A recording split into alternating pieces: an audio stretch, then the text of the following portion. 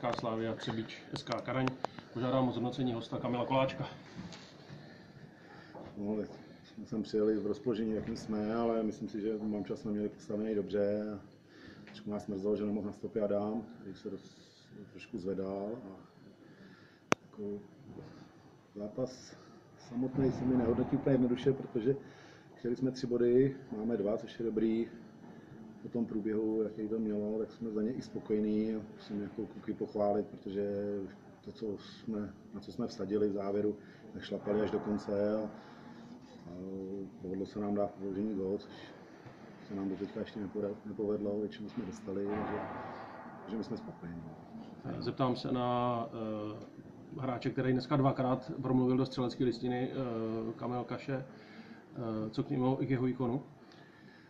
David. David, pardon. Kamil pardon. Já. Jo. Je to, myslím si, že to je rozdílový hráč a myslím si, že v budoucnu o něm asi uslyšíme, protože je to opravdu špičkový hráč, profesionální přístup, super na ledě, super na střídačce, super v kabině a, a přemluvím to nejlepší a se brzo prosadí. Děkuji domácí trenér Martin Sobotka.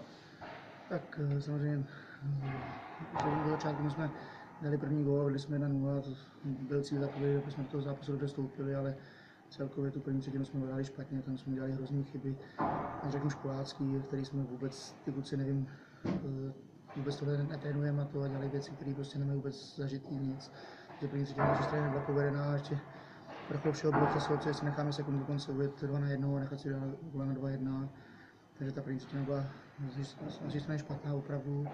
Pak jsme se zvedli, zvedli jsme klukům, že samozřejmě musíme zlepšit důraz do brány, eh, tlačit se před tu bránu, víc střílet, protože ta střelba naše furt kombinujeme, chceme dávat góly do prázdné brány a to nejde po každý, tak se nám to trošku zvedlo, otevřeli jsme se na 3-2, poslední třetinu jsme chtěli hlídat dobře ze středního pásma, ale tam se nám jeden break nepovedlo uhlídat a už jsme inkasovali 3-3, no a prodloužení to už se vracíme k tomu začátku sezóny, kdy jsme to prostě nezvládali a, my jsme zůstali dlouho na, dlouho jsme zůstali po braném pásmu, ty kluci už prostě neměli si to hrát a dostali jsme gól, takže pod dobrý, ale eh, potřebovali jsme dneska minimálně dva, ale nedá se nic dělat, musíme s tou hrát tu šestku někde jinde, třeba ve Frýdku.